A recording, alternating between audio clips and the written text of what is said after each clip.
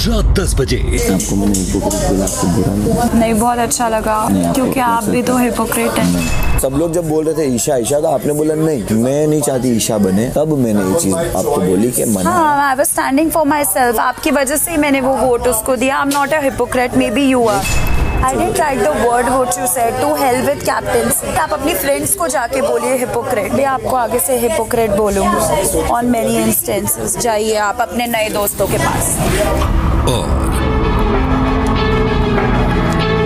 ईशा जी। आपके हाथों से एक शुभ कार्य करवाना है। एक बार गोंग बजा दीजिए। जैसे ही मकान नंबर दो का कमरा खुला कैंस की चोरी। अगर मेरे कैप्टनसी से प्रॉब्लम है तो तुम मुझे बोल मत कर प्लीज़ भाई ये अब फालतू का ये ड्रामे मत करे ना। जब तो इस चीज़ का प्लीज़ फ़ायदा मत उठा के तेरे को पता है मैं तेरे लिए नहीं बोलूँगी या तेरे अगेंस्ट नहीं बोलूँगी।